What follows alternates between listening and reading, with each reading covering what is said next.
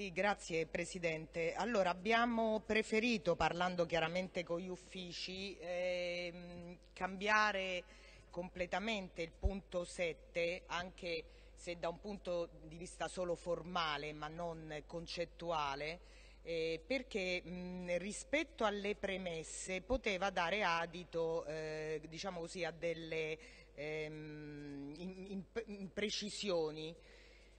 Perché questo? Perché mh, siccome riprende appunto un punto delle premesse in cui si fa riferimento ad una legge eh, che dà la facoltà ai comuni ehm, di prevedere appunto nell'ambito della Tari eh, un'agevolazione per tutte quelle mh, eh, per le unde, insomma per tutti ehm, quei commercianti che ehm, possono attuare eh, un progetto sperimentale, ma proprio il fatto che nelle premesse venga individuata una legge precisa che è la legge la 166 del 2018 chiaramente circoscrive questo eh, progetto sperimentale eh, ad una materia, cioè il, la riduzione dello spreco alimentare.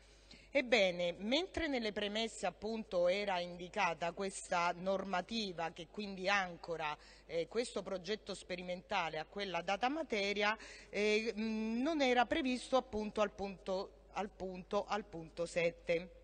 Quindi abbiamo preferito eh, proprio per mh, chiarezza e per individuare eh, il perimetro in cui questo progetto sperimentale debba essere individuato e abbiamo quindi preferito eh, riportare eh, anche nel deliberato l'indicazione della legge 166 2018. Ehm, per questo abbiamo eh, fatto questo emendamento che chiaramente voteremo favorevole. E ne approfitto solo per ricordare, perché insomma uno sta qui seduto e sente di tutto e di più, che la Tari nel 1 agosto 2014 in questa città fu aumentata del 4% in una notte tra il 31 luglio e il 1 agosto 2014. Questo tanto per dire che nel 2014 si era nel momento eh, più alto della, eh, dell'immondizia eh, intorno ai secchioni eh, con eh, quintali eh, di rifiuti abbandonati. Io lo ricordo perché da ex consigliera municipale chiedemmo con forza un, eh, un, consiglio, ebbene proprio nell'anno 2014 il governo Marino aumentò del 4% la Tari che diminuì di un 1,5 punto percentuale nel 2015.